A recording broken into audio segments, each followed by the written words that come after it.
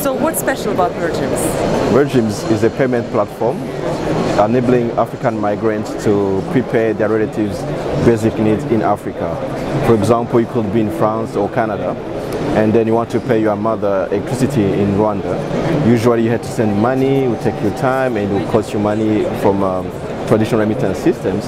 But with us, you simply take our mobile application or the website and you pay in 15 seconds your grandmother gets electricity in Rwanda. So you want to say that Mergims uh, is offering uh, free of charge services? Yes, yes. Really? Yeah. How does it work? How do Well, you make money then? How do we make money? We get commission from merchants, uh, but the users uh, don't uh, pay anything.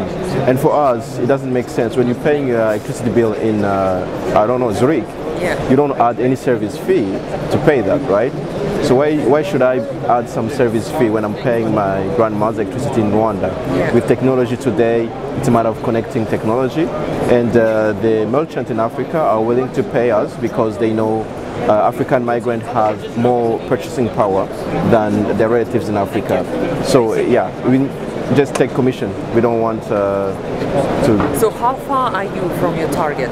We've been around for just one year, and we have, however, we have active users. A hundred uh, people comes every month to uh, to pay their relatives' basic needs, and uh, now we are being incubated at uh, this Kickstart Accelerator program to just accelerate, of course. And it means for us, at the end of the program, expecting to to have uh, maybe a thousand and more users, uh, because uh, we're getting access to mentorship, but also to uh, some funds that will help us to market ourselves because that was the main issue. People didn't know about us, and actually, we didn't want actually also to advertise too much at the beginning. We wanted really to test the, the thing, the concept, the concept that has been proven.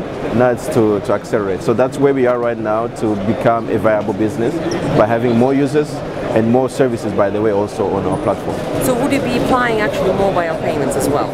Or Yeah, um, well, it's going to be available on mobile smartphones. As application, yeah. Exactly, not really mobile payments because we target uh, African who lives outside of Africa, and mobile mobile money is not really popular in the Western world.